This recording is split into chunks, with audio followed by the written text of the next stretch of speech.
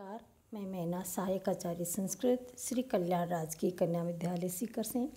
आज हम तर्क संग्रह के दूसरे पदार्थ, जल का लक्षण एवं उसके भेद के बारे में अध्ययन करेंगे।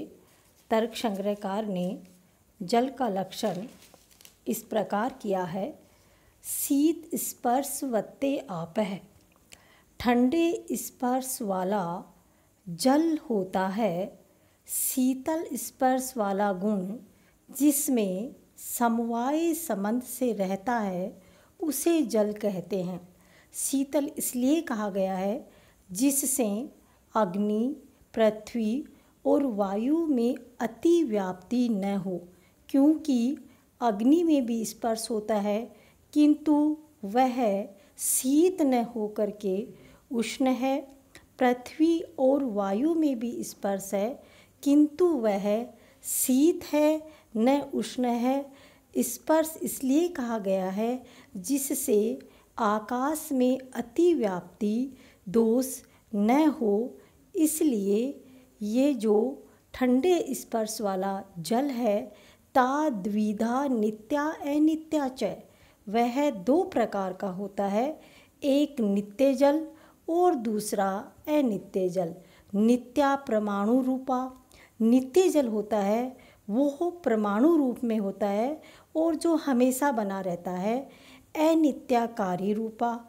और जो अनित्या जल है वो कार्य रूप होता है, जो परमाणु के संयोग से बना होता है और ये महासागर आदि कार्य के रूप में हमें दिखाई देता है, ये सदैव नहीं रहता, इसलिए ये अनित्या है। पुनस्त्रिविधा शरीर इंद्रिय विषय भेदात। ये जो अनित्य जल है, वह है पुनः शरीर, इंद्रिय और विषय भेद से तीन प्रकार का होता है। शरीरम वरुण लोके, जो जो जल से बना हुआ शरीर है, वह वरुण लोक में होता है। ऐसा माना जाता है, इंद्रियम रस ग्राहकम रसन जीवा अग्रवर्तती। और जो इंद्रिय है, रस का आस्वाद करने वाली, वह जीभ के अग्र भाग में रहने वाली है।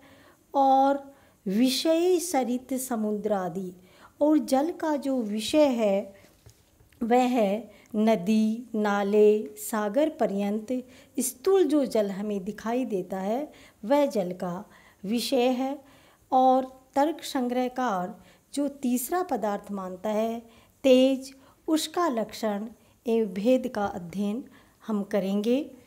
वो इस प्रकार है। उष्ण स्पर्शवत तेज तद द्विविधम नित्यम अनित्य च नित्यम परमाणु रूपम अनित्यम कार्य रूपम पुनस्त्रिविधम शरीर इंद्रिय विषय भेदात उष्ण स्पर्शवत तेज। है उष्ण स्पर्श वाला द्रव्य तेज होता है, तत् द्विविधम वह तेज भी दो प्रकार का होता है नित्यम अनित्य च। एक नित्य तेज और दूसरा अनित्य तेज। नित्यम परमाणु रूपम जो नित्य तेज है, वो परमाणुओं के रूप में होता है और जो अनित्यम कार्य रूपम और जो अनित्य तेज है, वह कार्य रूप होता है। पुनस्त्रिविधम अनित्य तेज, फिर से तीन प्रकार का होता है। उसके तीन भेद होते हैं। शरीर इंद्रिय विषय भेदा शरीर इंद्रिय और विषय के भेद से। शरीरम आदि आदित्य लोके तेज का जो शरीर है, वो आदित्य लोक में रहता है। इंद्रियम रूप ग्राहकम चक्षुम, कृष्ण तारा अग्रव्रतती। और इंद्रिय के रूप में तेज पार्थिव शरीरों में चक्षु के रूप में होता है, जो चक्षु रूप को ग्रहण करती है। आँख जो हम जिस रूप को ग्रहण करती है, यह तेज नेत्री के भीतर जो कृष्ण तारा होता है, जो पुतली होती है, उसके अग्रभाग में होता है विषय चतुर्विध है। और जो तेज का जो विषय है, वो चार प्रकार का होता है। भौम, दिव्य, औदर्य आक्रच भेदात। भौम दिव्य, आक्रज और औदर्य। इस भेद से चार प्रकार का होता है।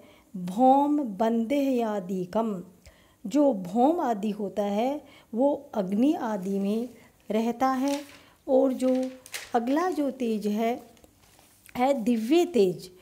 जो दिव्य तेज है, अविंध्यम दिव्य विद्युत आदि वह है जल से प्रदीप्त होने वाली बिजली आदि जल को सुखाने वाली सूर्य किरणें, चंद्र किरणें जो आकाश में स्थित रहती हैं, उसे हम दिव्य तेज कहते हैं।